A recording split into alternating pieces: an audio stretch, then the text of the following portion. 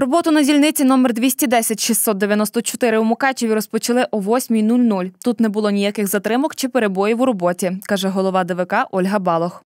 Скриньки в нас всі опломбовані, в нас їх є шість, не пошкоджені, контрольні листи всі вкинуті. За словами пані Ольги, перші виборці прийшли голосувати з відкриттям дільниці.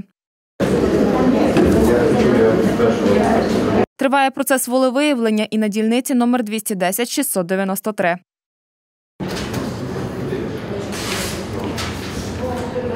Робота дільниці почалася вчасно, о 8 годині.